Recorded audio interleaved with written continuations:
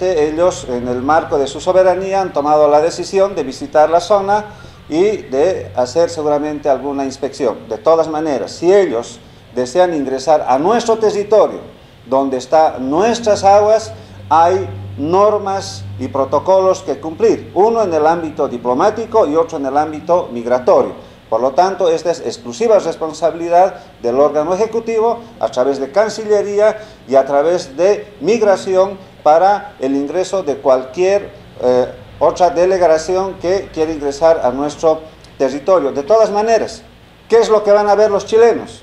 Van a ver un curso de agua artificial. Eso es lo que van a ver ellos. Es un curso artificial de agua en el cual ha intervenido la mano del hombre, se ha utilizado explosivos, dinamita, más de 21 mil metros en tubería en construcción de mampostería, obras artificiales que en humedales y bofedales que tenemos en el Silala han obligado a través de estas obras de ingeniería que las aguas vayan de manera artificial hacia territorio chileno y que sean utilizados indebidamente por más de 100 años en la minería y en el consumo humano. Hay transnacionales como el consorcio Lucix que se ha hecho la América negocio redondo con nuestros recursos naturales y no nos han pagado ni un solo centavo. Por eso es que en la contrademanda hay que exigir que esas transnacionales y que el Estado chileno asuman esa deuda histórica que tienen con el Estado boliviano. ¿Usted una contrademanda en, contra de esta transnacional?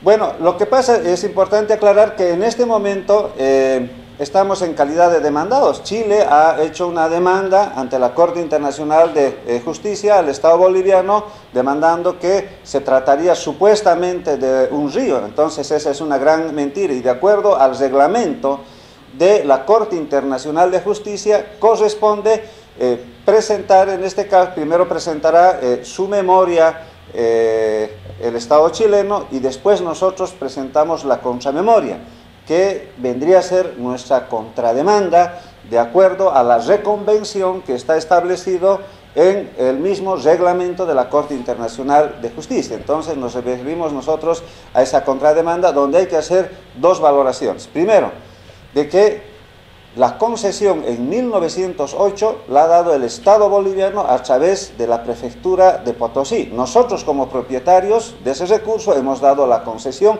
a una empresa privada. Nunca dimos al Estado chileno. nosotros los invitamos a los hermanos chilenos, a los hermanos diputados y senadores y especialmente la presidenta chilena, la hermana presidenta chilena, que venga, lo vamos a recibir en Bolivia con cueca, con comida especial porque ellos son nuestros hermanos y que verifiquen que son manantiales y que siempre pertenecieron a los bolivianos. Criticamos un poco la manera de cómo lo hizo Morales la invitación por Twitter y la diplomacia no se maneja así, decían algunos diputados. Bueno, este, mientras más burocracia algunos de los eh, chilenos, autoridades chilenas lo hagan, claro, obviamente quieren perjudicar la relación uno tiene que saludarse donde sea, esa es nuestra educación de todos los bolivianos. Por lo tanto, son bienvenidos los hermanos chilenos, diputados y senadores.